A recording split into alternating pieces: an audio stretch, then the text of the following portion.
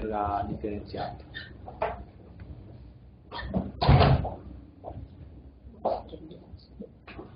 Eccoci, siamo in onda, fate un bel sorriso. Allora, cominciamo col menù. Allora, numero uno del Presidente, un nuovo testo, concessione del patrocinio e l'uso del logo della Regione Liguria ad iniziative varie. Numero 5.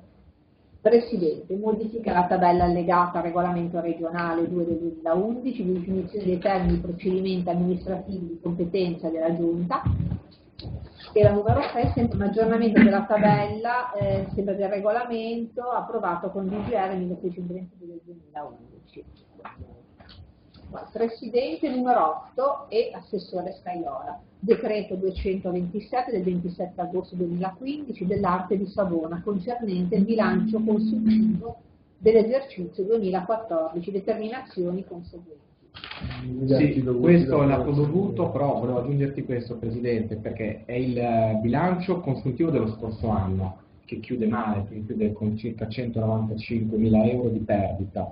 Noi nella delibera abbiamo messo una serie di eh, indicazioni e prescrizioni, tra le quali vorremmo anche sapere entro 30 giorni i provvedimenti che Arte Savona intende adottare per eh, ripianare questo buco che è particolarmente negativo. Perché già c'è abbiamo Arte Genova, se ci mettiamo anche Arte Esatto. Savona, non ci deve Esatto. dei miei- Non le elenco tutte, ma ci sono almeno 6 o 7 indicazioni e Prescrizioni. prescrizioni. Allora, la 9 e la 10 dell'assessore Berrino rinviati. Numero 11, assessore Cavo, finanziamento a favore della città metropolitana di Genova per completamento impegni di spesa afferente attività formative avviate e concluse entro il 30 giugno 2015 nell'ambito del catalogo regionale apprendistato professionalizzante di mestiere, impegno di euro 541.407,5. Io preciso soltanto che sono soldi che, arrivano, che erano già arrivati dal Ministero del Lavoro, incassati dalla Regione, disponibili quindi nel relativo capitolo di bilancio e si va a finanziare Città Metropolitana per attività eh, per l'apprendistato professionalizzante o contratto di mestiere per giovani rivolti di età compresa scusate, tra 18 e 29 anni. Si tratta di attività già tutte concluse e anche già tutte rendicontate, quindi un passaggio del messaggio formale. Mi raccomando, nella programmazione 2016-2020 cerchiamo di avere un ritorno, una redemption di tutti i corsi di formazione che sono stati fatti in questi anni. Prima di... Fatto, adesso ho chiesto ad Arse Non so lo se studio specifico e l'ho chiesto anche se non avevo qualche risorsa aggiuntiva. eh, C'è qualche risorsa aggiuntiva della vecchia programmazione che possiamo usare per far fare una ricerca mirata con l'agenzia che aveva vinto il bando.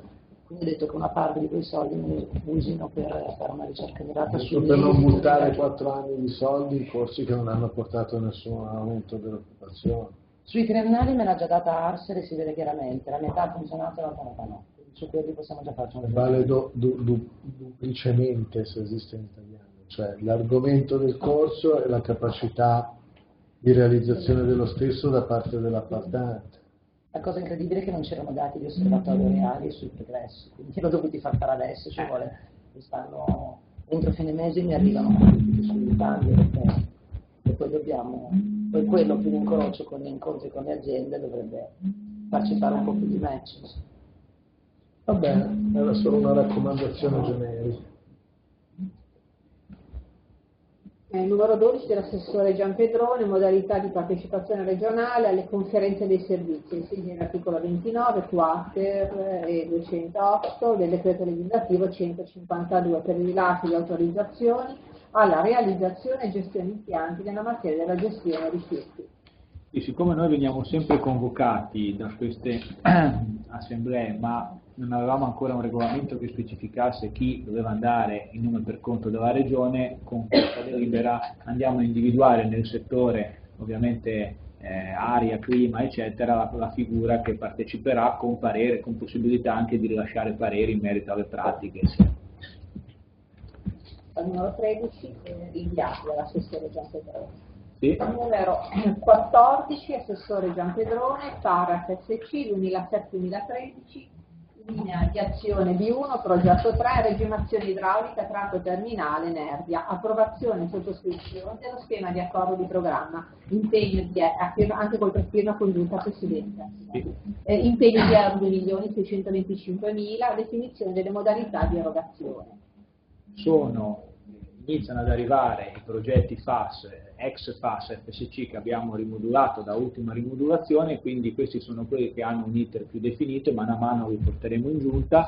Questo è il Nervia per un progetto che opera, ammontano a 4 milioni e 125 mila euro che verranno finanziate con il mutuo per 2 milioni e 625 mila euro e 500 mila euro che erano già stati precedentemente impegnati e liquidati con una DGR nel 2009, penso fossero quelli delle progettazioni quindi questi sono quegli interventi che devono avere un affidamento del lavoro entro il 31-12. Noi faremo una prima verifica al 15 di ottobre, quindi fra pochi giorni, per capire rispetto alla rimodulazione approvata che cosa sta andando nella direzione diciamo, di positiva della scadenza del 31 dicembre e cosa invece non sta. E eventualmente riproporremo un'ultimissima rimodulazione sull'esistente rispetto a quello che abbiamo lasciato fuori numero 15, l'assessore Gian Pedrone è presidente, paragrafo SC 2007-2013, interventi di messa in sicurezza della viabilità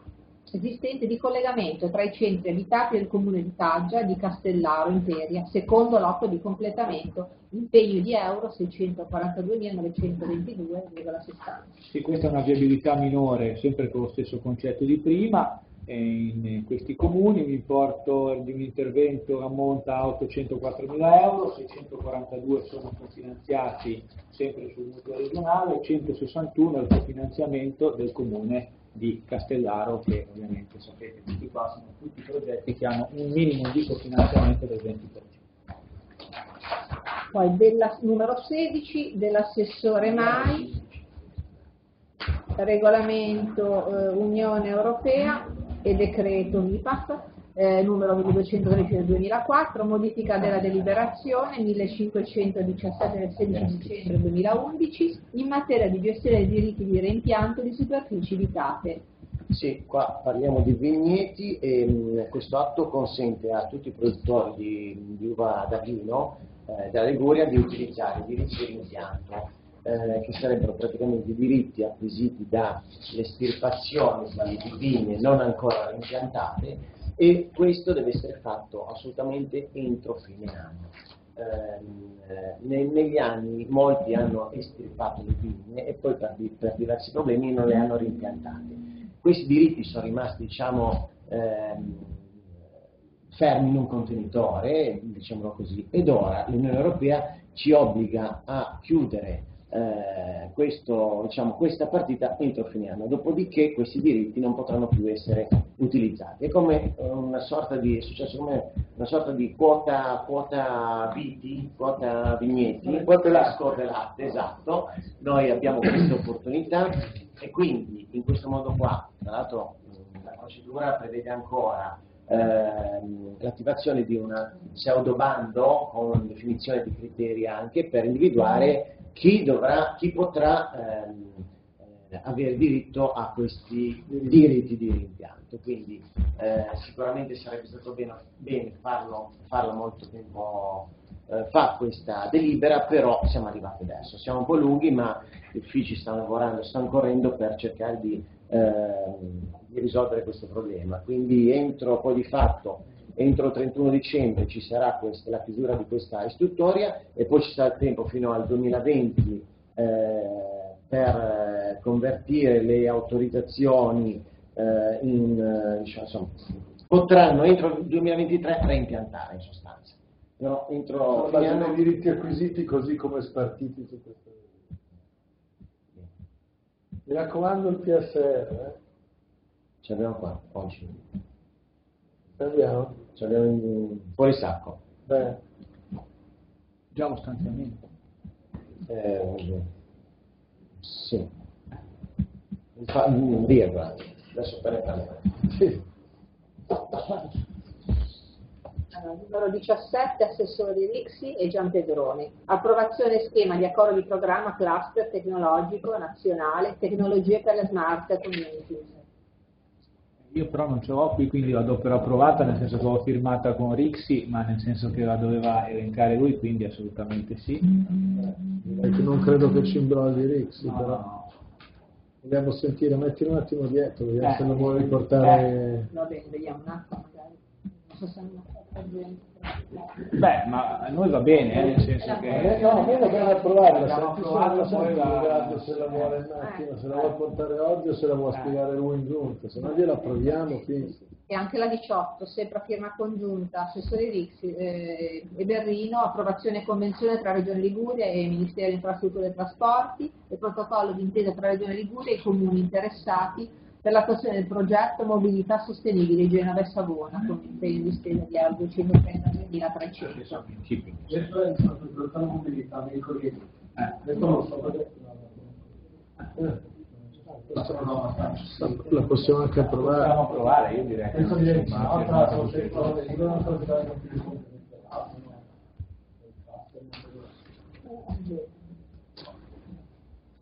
Numero 19, Assessore Scaiola, Comune di Bordighera, Imperia, Conferenza di Servizi, ex articolo 59, legge regionale 36 del 97, articolo 80 e 81 della legge regionale 11 del 2015, per approvazione di due SUA di iniziativa privata relativi alla zona C3, sottozona 1-3 in variante al piano regolatore generale e al PCCP. Allora, con questa delibera approviamo appunto il suo strumenti urbanistici attuativi di due zone sopra Bordighera, Torre Saperno e località Colla. Che cosa verrà realizzato? Eh, su località Torre Saperno un albergo da 51 camere circa e 9 edifici residenziali per 18 alloggi di destinazione turistica. Invece nel SUA in località Colla sono 4 edifici residenziali. Questo sviluppo urbanistico porterà poi il comune di Bordighera quindi a poter realizzare un nuovo parco pubblico, parcheggi pubblici e quattro appartamenti di natura ERP. C'è il parere favorevole della soprintendenza del 22 settembre 2015 e adesso con questa nostra approvazione passerà al comune di Bordighera a organizzare la, convocare la, la conferenza di servizi liberante e per la Bene, Numero 20, Assessore Scaiola, istituzione della Commissione regionale per il rispetto della normativa sull'accessibilità delle aree demaniali marittime da parte delle persone disabili.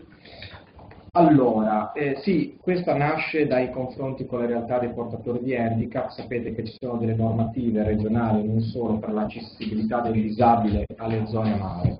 Eh, noi quindi portiamo la, eh, la delibera dove diamo ok alla approvazione di questa commissione composta da interamente persone interne alla eh, alla, alla, regione, alla regione Liguria, quindi non ci sono nomine che andiamo a prendere all'esterno, sono nomine nostre, quindi non hanno neanche alcun costo e deve essere solamente per avere un confronto con le realtà del, delle associazioni dei non disabili per vedere che possano avere fruire delle realtà in maniera adeguata. molto bene. Poi numero 21, il disegno di legge dell'assessore Gianpedrone, disegno di legge contenente misure per lo sviluppo della raccolta differenziata e del riciclaggio.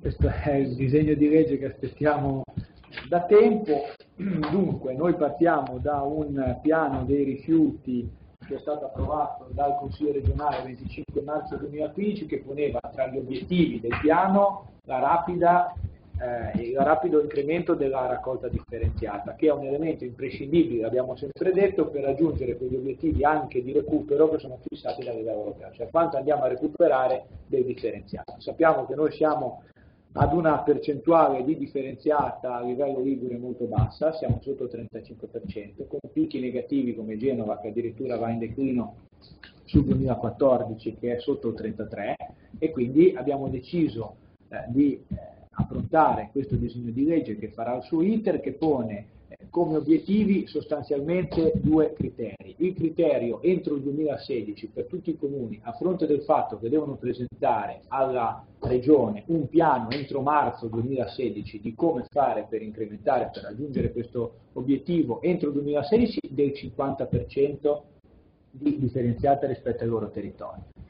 Per quanto riguarda invece l'obiettivo che andava raggiunto già nel 2012, quindi noi non è che stiamo facendo una cosa in prospettiva rispetto a un qualcosa che deve ancora scadere, siamo abbondantemente scaduti. di recuperare il tempo che Esattamente, andiamo al 2020 come termine massimo e bisogna raggiungere la cifra prestabilita di percentuale che è quella del 65%. Qual è la novità di questo intervento? Non è che solo noi imponiamo, ah, diciamo che i comuni che non riescono a raggiungere i limiti che noi fissiamo contribuiscono ovviamente su un fondo che andrà poi a contribuire eh, automaticamente a tutti quei comuni che devono crescere nel rapporto tra la loro raccolta differenziata e le percentuali raggiunte a raggiungimento dell'obiettivo dell'atto regionale considerato ovviamente come insieme di base. Quindi da il 31-12 del 2016 coloro i quali non avranno raggiunto la percentuale prefissata avranno una quota di contributo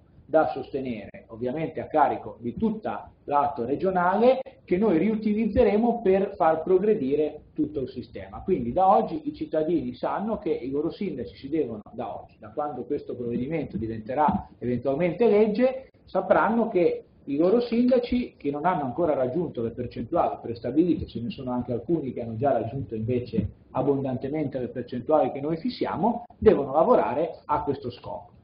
Siccome ci sembrava di imporre e basta, ma voglio dire una cosa limitativa rispetto invece a un percorso che anche la Regione vuol fare, eh, il Presidente, di concordo con gli uffici del bilancio, ha deciso di stanziare per il 2016, che è l'anno ovviamente che ancora non troverà alcun tipo di eh, finanziamento dai comuni stessi che arriverà dal 2017 in poi, la cifra di un milione di euro con dei criteri che attualmente qua non vengono disposti rispetto alla spesa a come verranno utilizzati, ma che lasciamo anche un po' dire, ai lavori della Commissione, ai lavori del Consiglio rispetto ai margini. Sottolineo che Oggi chi è tra il 30 e il 45% fa sicuramente meno fatica con un piccolo contributo ad arrivare al 50%, chi è al 17 fa sicuramente più fatica, ma bisogna anche chiedersi perché è rimasto al 17 a fronte di un sistema che ti imponeva comunque di raggiungere il 65 entro il 2012. Questo è una cosa che dico alla Giunta, dopodiché faremo le valutazioni necessarie e investiamo quindi su,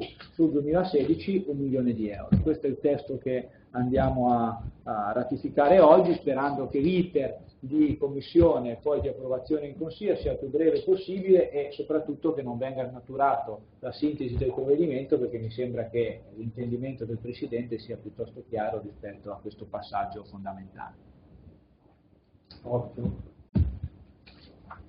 Alcune delibere fuori sacco. Allora, Presidente, Assessore Giampedrone, accettazione della donazione della progettazione esecutiva del rifacimento della copertura del torrente Bisagno, lotto di completamento fino alla stazione di Genova Brindisi. È così. A seguito della catastrofica alluvione che ha colpito Genova nell'ottobre del 2014, la Regione Liguria ha sollecitato attraverso un avviso pubblico la messa a disposizione mediante erogazioni liberali di progetti di ripristino e la realizzazione di opere pubbliche danneggiate o distrutte. La società Salini in Pregino nel 2014 ha manifestato la propria volontà di donare questo progetto alla Regione Liguria, la progettazione esecutiva del rifacimento della copertura del torrente Bisagno, l'otto di completamento, quello che è indicato in delibera, Oggi la società Salini dona materialmente la progettazione in argomento alla Regione che con questa delibera ne dispone l'accettazione e contestualmente mette a disposizione della medesima affinché l'iter per arrivare all'appalto dei lavori sia più celere possibile. Evidentemente, come capite, si tratta di un tassello importante per completare quell'arco dei lavori sul fiume Bisagno che di qua al 2020 o poco più dovrebbero mettere in sicurezza l'area della foce e quella parte e quella parte della città. Quindi ringraziamenti alla società Salini in Pregilo che ci ha, che ci ha donato questo, questo progetto esecutivo. Ora si tratta che i nostri uffici lo mettano a gara nel più breve tempo possibile, ma date le indicazioni di priorità assoluta contro il dissesto che abbiamo anche dato nell'ultimo. L'esperienza dei servizi il 22 dovrebbe essere la deliberante, dopodiché ci sarà un altro passaggio del commissario per poter partire con la gara. Questa è un'opera che verrà realizzata con una parte di quei finanziamenti dei 275 milioni di Italia Sicura penso si aggiri intorno ai 90 milioni. 95. Okay. Molto eh, bene. Eh sì, appena finisce la conferenza dei servizi, noi addirittura abbiamo anticipato un po'. Noi ci abbiamo già lavorato un po' Ok. su, diciamo. Assessore Gianpedrone, integrazione del primo piano di interventi per l'annualità 2015, provincia della Spezia, strada provinciale 31 della Ripa, danneggiata da eventi alluvionali pregressi, impegni di euro 529.425,16 derivanti dal maggior gettito dell'imposta regionale sulla benzina. Allora, questa è, noi abbiamo fatto un primo piano di interventi su strade provinciali di priorità, Savona, Imperia e Genova. Rimaneva fuori Spezia da quel milione e cento avevamo già stanziato perché c'è questa strada che è chiusa da agosto e che ha avuto notevoli problemi nel corso degli anni, anche con una morte tragica di un operatore di polizia in una operazione di intervento appena riaperta la strada e che ovviamente era chiusa perché i movimenti franosi impedivano la sicurezza, eccetera. Oggi noi interveniamo con 530 mila euro, un confinanziamento di 205 da parte della provincia della Spezia per un stralcio di interventi che ci consentono, se tutto va bene, di riaprire la strada entro la prima settimana di dicembre. A senso unico alternato e vincolata almeno alle allerte arancioni e rosse alla chiusura. Allerta gialla installeremo un pluviometro in modo che con la gialla non si chiuda, qualora ci dovesse essere proprio su quel versante una intensità di pioggia tale da far preoccupare, col pluviometro chiudiamo. Però questa è una prima risposta. Dopodiché, siccome abbiamo ritenuto anche eh, di capire che la provincia sia carente progettualmente rispetto a quell'arteria che è molto importante, da dopodomani ci sostituiremo alla provincia stessa, perché ricordo sempre che la competenza sulle strade provinciali è rimasta, eh, che se no sembra che, ok? Eh, progettualmente ci sostituiremo con IRE, che è la nostra società appunto apposita, per provare a trovare una soluzione definitiva che sarà anche una soluzione strutturale, perché abbiamo visto nel tempo intervenire solo sul versante non ci consente quella garanzia di sicurezza perché quel versante è destinato comunque a movimentazioni nel tempo e quindi decideremo presumibilmente di fare un intervento modulato con anche qualche galleria esterna, in modo che poi, indipendentemente da quello che accade nel versante, si possa essere in sicurezza. Una volta che avremo realizzato la progettazione, cercheremo di eh, trovare i relativi finanziamenti, però siamo convinti che lì bisogna fare un intervento definitivo perché anche questa riapertura parziale che sicuramente oggi dà, dà sfogo poi risulterebbe insufficiente se non intervenissimo. Eh, almeno, almeno una parziale risposta ai disagi. Sì. Poi dell'assessore Mai la proposta, una proposta di atto amministrativo eh, Consiglio regionale, regolamento Unione Europea 1305 del 2013, programma regionale di sviluppo rurale per il periodo 2014-2020, preso data sensi dell'articolo 6,1 lettera B della legge regionale 44 del 1995. Bene, qui come avete visto eh, siamo, non abbiamo perso un secondo, stamattina è stata insomma, proposta questa delibera è difficile dire che hanno lavorato davvero senza sosta per arrivare a questo traguardo. Tanto il PSR per la regione Liguria, abbiamo già detto, vale 313 milioni 720, di cui eh, 53 milioni 600 rotti sono della regione Liguria, quindi eh, insomma non, è, non, non sono denari solamente dell'Unione Europea, ma sono denari anche nostri che impegniamo in quota parte nella, nella misura del 17%. Ehm, questo, questo piano di sviluppo rurale eh, costituirà negli anni, negli anni a venire fino al 2020, ma eh, in prospettiva fino al 2023 perché c'è la regola del più 3 per concludere con eccetera, eh, uno sviluppo notevole. Ehm, chiaramente eh, le indicazioni ehm, sono quelli dettati da- dall'Unione Europea. Ora, questo, il passaggio in giunta, è il primo passaggio ufficiale dopo il eh, sigillo, dopo la- l'approvazione finale della Commissione Europea avvenuta in data 6 ottobre. Eh, successivamente, anzi domani chiederò di eh, calendarizzare eh, la terza commissione con l'ordine del giorno a questo piano e credo che non subirà eh, ulteriori rallen- rallentamenti perché dico, cioè direi che siamo già arrivati al limite della sopportazione. Presumibilmente entro il fine mese andremo in consiglio regionale, io credo il 27 eh, insomma sarà il 27, potrebbe anche essere prima, ma va bene il 27, e quindi nella prima settimana di novembre potremo uscire con i bandi, o perlomeno dare la possibilità di cominciare gli investimenti, diciamo così. Ehm, cominceremo con un'apertura di bandi ehm, che andrà, siccome siamo in ritardo, di, eh, due, di un anno, circa un anno e mezzo, cercheremo di eh, rimpinguare questi primi capitoli per questi bandi mh, eh, proporzionalmente per, diciamo, per due anni, prenderemo la cifra destinata per due anni e li metteremo in questi capitoli.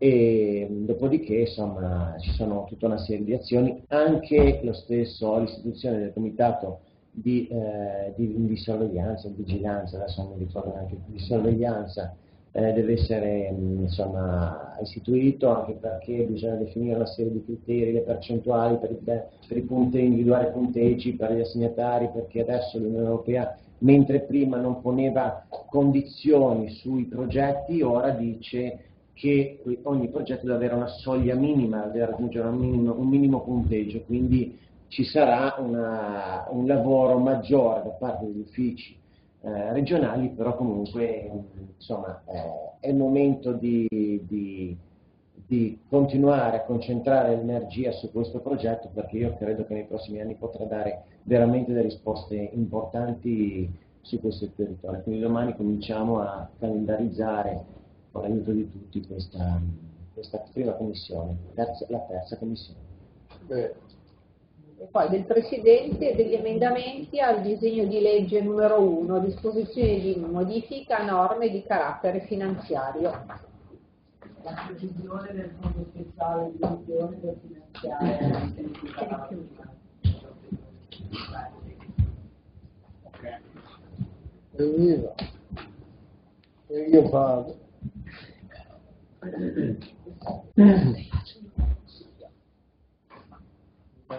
vado.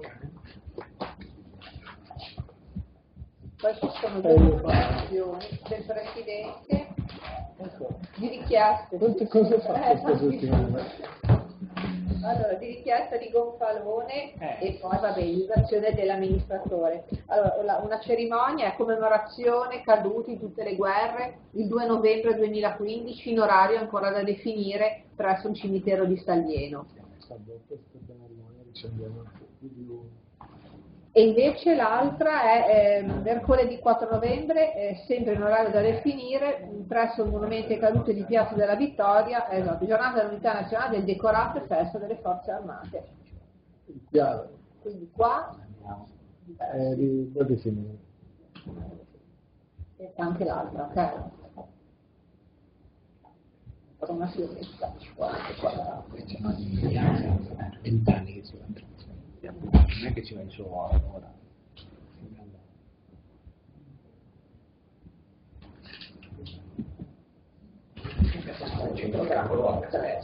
Erano altro.